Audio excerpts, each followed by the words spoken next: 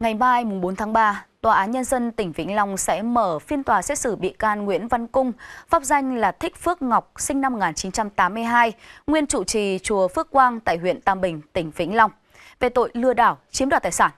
Cung đã lợi dụng lòng tin của nhiều người, lừa đảo tài sản gần 68 tỷ đồng. Trong vụ án này, công an đang tiến hành truy nã một người phụ nữ tên là Lê Nguyên Khoa cùng về tội lừa đảo chiếm đoạt tài sản. Theo cáo trạng, Phạm Văn Cung đã lừa đảo tổng cộng của 4 người với số tiền gần 68 tỷ đồng.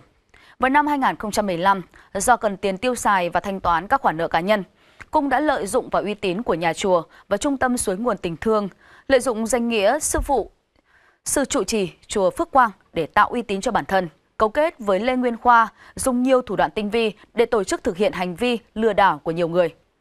Năm 2020, Phạm Văn Cung nảy sinh ý định chiếm đoạt tiền của một nữ ca sĩ nổi tiếng nên trực tiếp đến nhà. Cung nói với nữ ca sĩ mình có mối quan hệ quen biết với nhiều quan chức cấp cao ở Trung ương, Chính phủ, Bộ Ngoại giao và hứa sẽ giúp một Việt Kiều Anh Quốc, bạn của ca sĩ, về nước sống hợp pháp. Với thủ đoạn này, Cung đã lừa của nữ ca sĩ này hơn 13 tỷ đồng. Hiện nay, Công an tỉnh Vĩnh Long đang truy nã với Lê Nguyên Khoa, 36 tuổi, trụ tại quận ngụ tại quận Ninh Kiều, thành phố Cần Thơ về tội lừa đảo chiếm đoạt tài sản.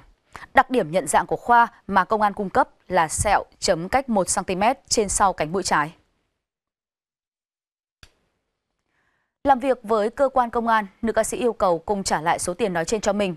Về trách nhiệm hình sự, cô đề nghị xử lý Cung theo đúng quy định của pháp luật.